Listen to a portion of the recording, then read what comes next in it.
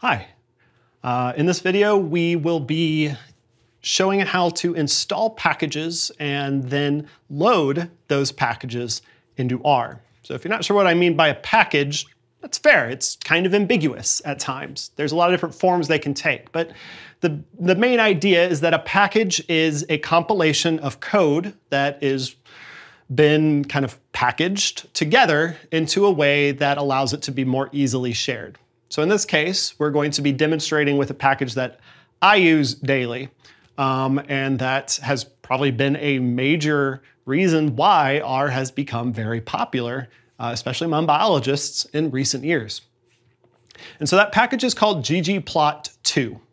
Um, and it's a, a, data visualization package. It's extremely flexible. It kind of establishes all sorts of fun stuff, but, but you're gonna have to do more on that later.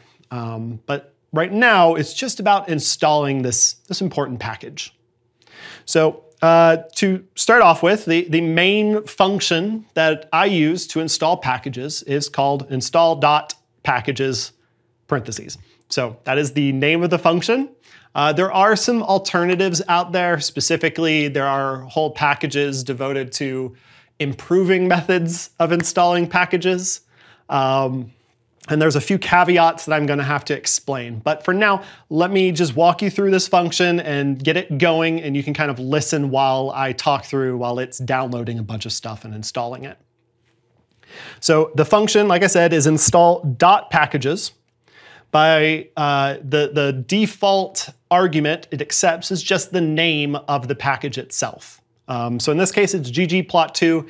You will often hear me say ggplot, but that's an error. I should say ggplot2. That's its actual name. Um, but if I run that, you'll notice that it is in quotation marks. So it's not like an object. That means it's literally the characters ggplot2, as opposed to some object that contains a characters that it should then install the, what those characters are. Um, so we'll kind of demonstrate that in a second, but this is the more common way of writing it. So I'm gonna run that, and a bunch of stuff is gonna start happening. It's a lot, right? Here's the thing. You don't need to understand all of this. You don't need to understand even most of it. Uh, but there are a few concepts that occur during this process that you probably should be aware of. First of all, there are dependencies. So our ggplot2 does not function by itself. It requires a lot of other packages. You can see them listed right here.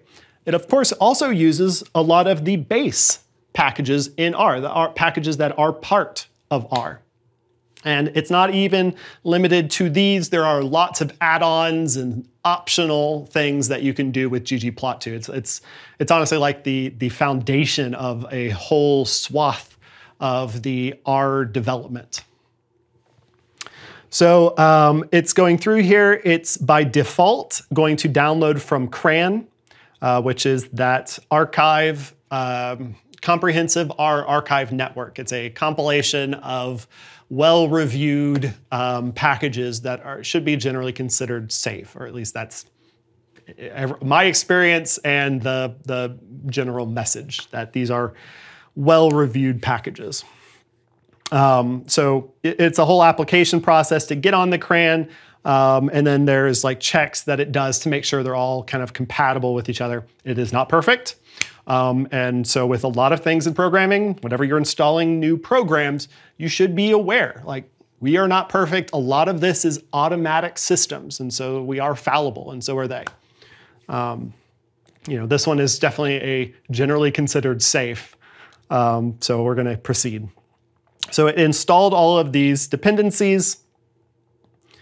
It then printed off a lot of information.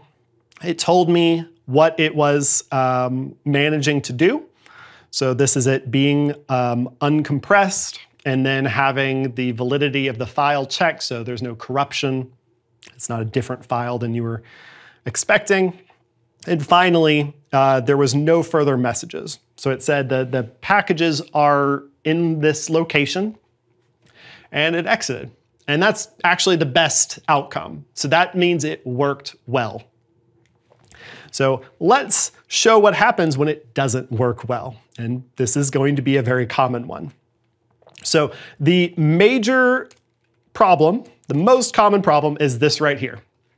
You run this code, and it says ggplot not found. ggplot2, sorry. And hopefully you just noticed what I did was I removed the quotation marks. What that means is it's now looking for an object called ggplot2. Now I could actually say package I want. I could create a, um, an object called that contains ggplot2. And if I use that, it's now trying to install the contents of that object, which is called ggplot2. And it said, hey, I did it, because I just overwrote the file that already existed. It didn't have to do much. And so um, that is what's happening when you take off those quotation marks. But that is by far the most common error. And it's just, it can't find that object because, well, that object doesn't exist. What gets confusing is what if that object did exist? And then you start getting some other different error. So let's make that one occur. Let's say you try to download ggplot3. I don't actually know if ggplot3 is a thing, so we're experimenting here. Okay, that's good. I was worried for a second.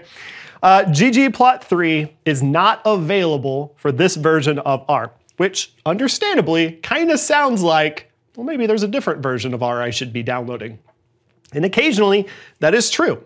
Um, that if you had like a really old version or someone hasn't updated a package in a while, maybe there isn't a current version for you to download.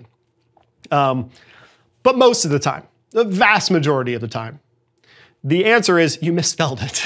it's the most common issue. And that's exactly what happened here is I, I just added three to it. And so something else, it, it couldn't find that package for this version of R. And so it gave me that message. So it's an extremely common error. Um, other things that will occur are a little bit, um, a little bit harder to understand. Um, could we scroll the script down a little bit?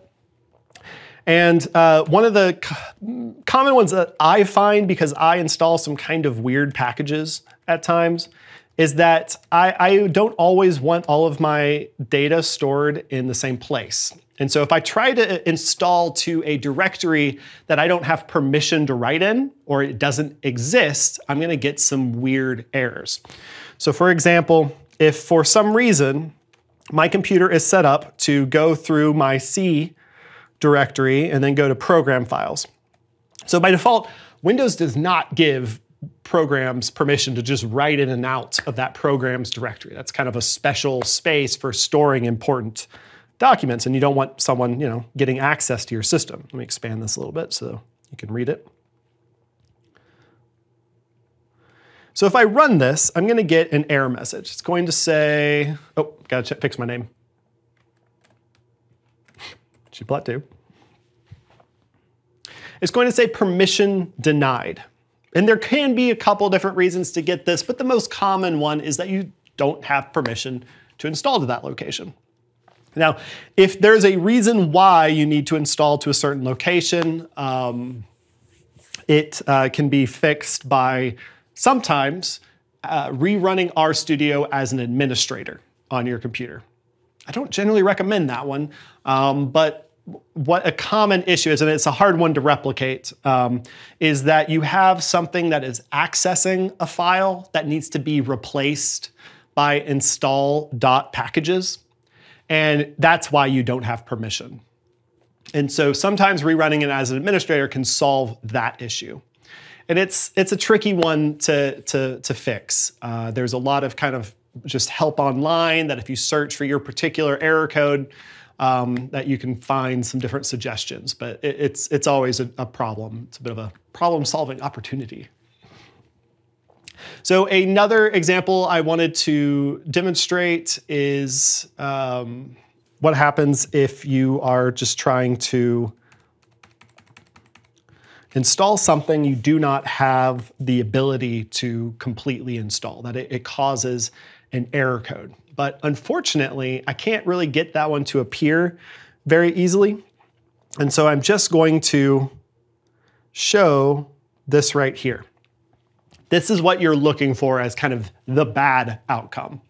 There's a lot of reasons that bad outcome occurs, and there's going to be different error messages associated with it. But what you need to be looking for is if this occurs at the end of a very long string of pop-ups, you see this non-zero exit status, you know something went wrong. And that's when you really need to start doing troubleshooting. And eventually you need to reach out to your instructors. So finally, um, I wanted to show actually loading the packages. So I'm gonna erase this and I'm gonna show loading. Now what's interesting, the library function uh, does allow you to use quotation marks. However, unlike install packages, you can also not use quotation marks. And I think that's more just because they got tired of having to work with people who are new to this and were troubleshooting these, these quotation marks, or it could be a holdover from the original code. For whatever reason, install packages requires quotation marks. It doesn't try to interpret whatever you tell it as text. It tries to interpret it as it normal R does. Library does not. It interprets it in a weird way in terms of R syntax, where no matter what you give it, the first thing it checks is, well, is there any package with that name? And if so, it loads it. So in this case, either one of those works. Uh, what you don't want to see is this message. There is no package called ggplot3 in this case. And that means that you didn't manage to install the package. Uh, there can be a lot of other stuff that pops up during this process. It can be very tricky to interpret, especially if it's going to try to compile any sort of information um, or build a new package. And so when that occurs, it can be tricky. Uh, but in the end, if you can load the library, it at least installed mostly. And that's where you should kind of cut it off. Like if it doesn't load, then keep trying until you figure out what was stopping it from installing and it can now load. The last thing I wanted to mention is that instead of library, you will sometimes see require. And the reason why people use require is um, instead of library, which just tries to load it and it produces an error, which will stop your package, uh, will stop a script from running, if you run require, it will actually return false if there is um, the, the, the package failed to load. And that allows you to kind of do new stuff in response to what happened during the package loading process. So for instance, I could say, all right, if, if this is not true, this is a complicated program, but that's essentially what this says. It says, if this is not true, then do stuff in here. And I could say print, oh no. And so when I ran this, it said, oh no, which isn't very useful, but you can imagine that in a good script, you would fill that with useful stuff. Things like, okay, well now go install that package. So that's the idea. Um, hopefully that helps. Again, if you had trouble, um, reach out to your instructors or your TAs. This is a very common source of issue. Don't let this stop you from interacting with these packages because they are really cool, valuable resources. Thank you.